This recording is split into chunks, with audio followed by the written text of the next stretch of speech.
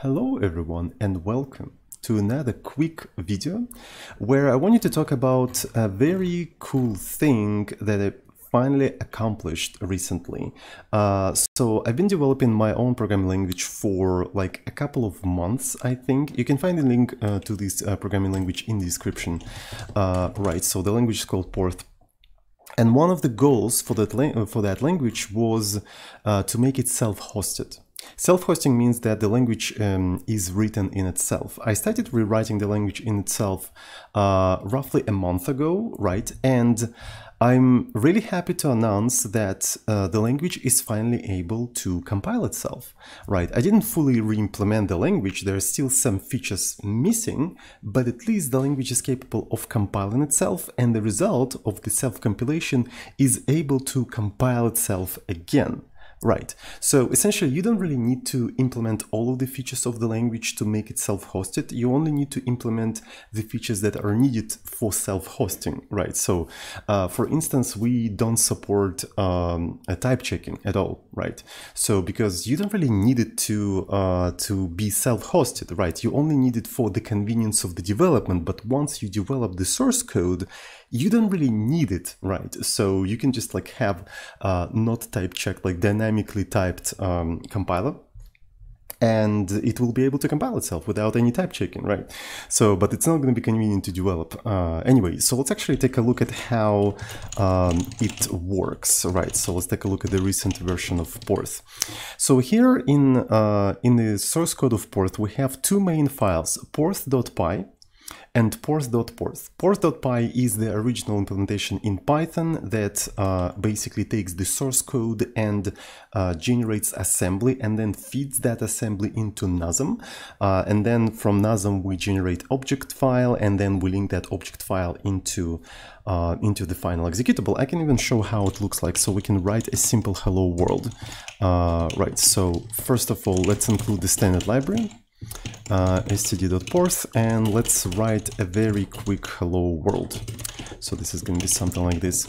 And then I'm going to use the Python compiler, right? So I'm going to compile uh, hello.porth and as you can see, it generates assembly, hello.asm. Then it feeds that assembly to NASM, uh, which will generate object file, and then we link that object file. Right, so as you can see here, we have a bunch of files uh, related to hello program, and the main one is hello. Uh, if we take a look at that uh, file, it's a ELF64-bit executable, and it's statically linked. We don't depend on anything right now, even libc. Right, and if I try to run uh, this program, it says hello world. Uh, one of the things I forgot, I think I forgot to put a new line in here, right? So I think it's quite important. Uh, I think a new line is quite important in here.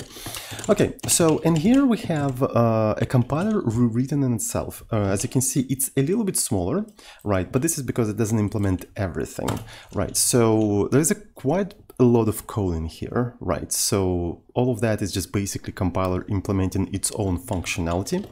And let's go ahead and try to compile the compiler, uh, the porth.porth compiler with porth.py, right? So I'm gonna just take porth.porth and feed it into porth.py and see what's gonna happen.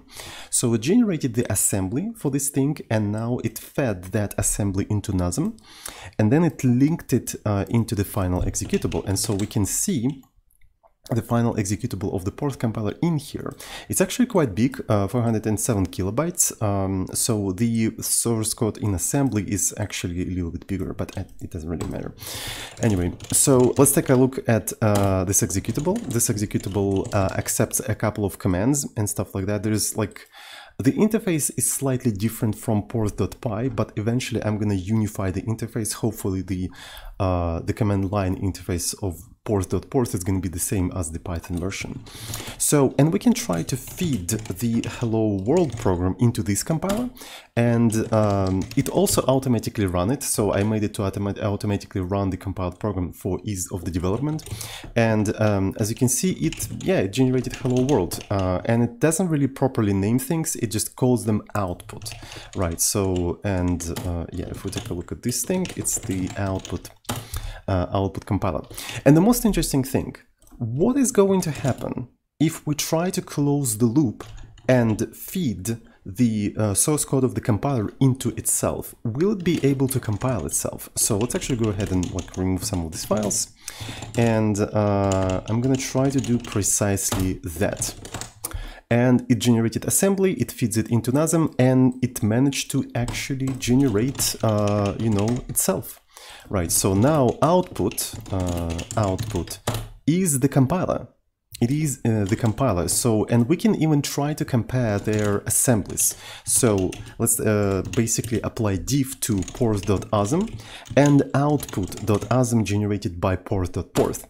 And there is no difference between these two files, right? So it generated itself, right? So essentially what we have, we have a sequence of CPU instructions that given a description of itself is capable of generating the same sequence of instructions. So, and thus we kind of close the loop. Um, so yeah, but uh, we still can't interpret the uh, the programs, right? So there's like a few operations in intermediate representation that are not implemented for interpretation. So there's some features missing, but at least it is capable of compiling itself and is actually pretty exciting it is actually pretty exciting. So uh, one of the plans that I had uh, is basically get rid of Python once Porth is rewritten in itself.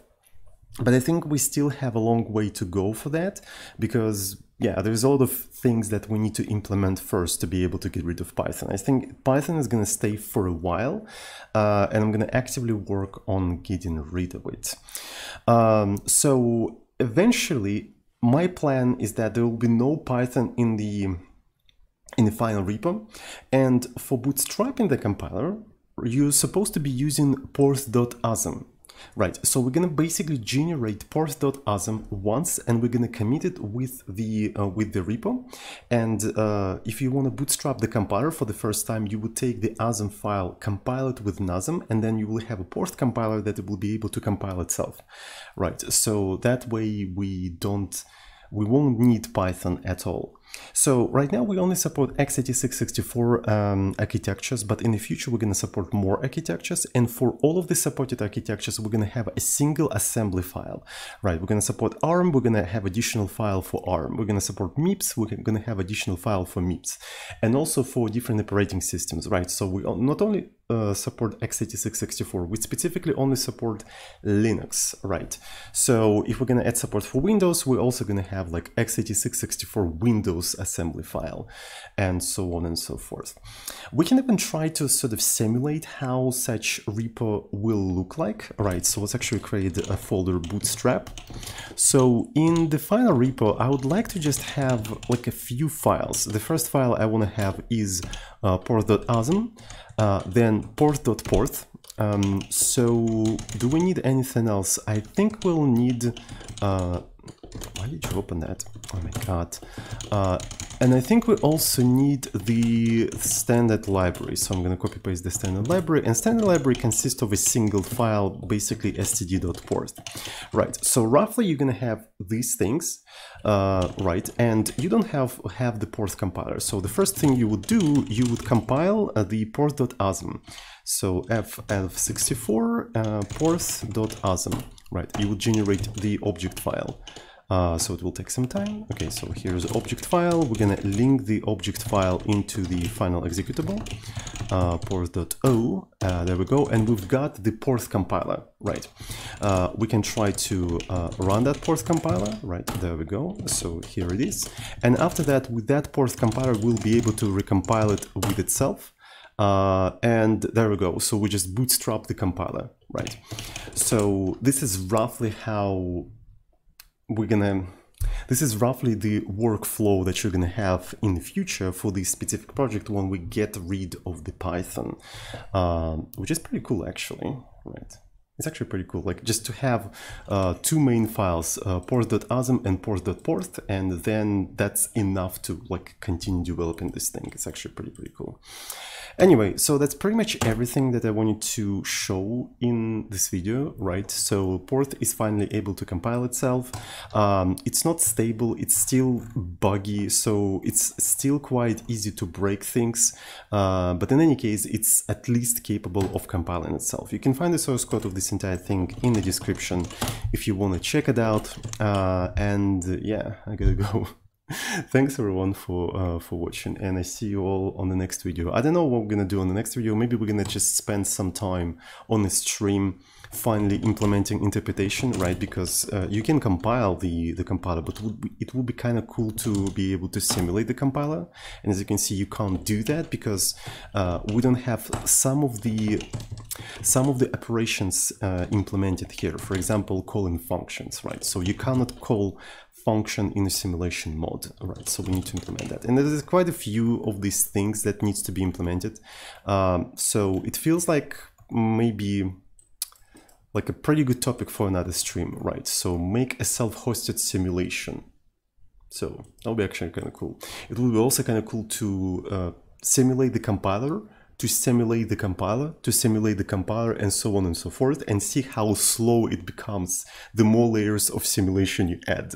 So this is something to, uh, this is something interesting that I would like to see actually. So Anyway, so that's everything I wanted to say. Uh, thanks everyone for watching, and I gotta go. Uh, love you all.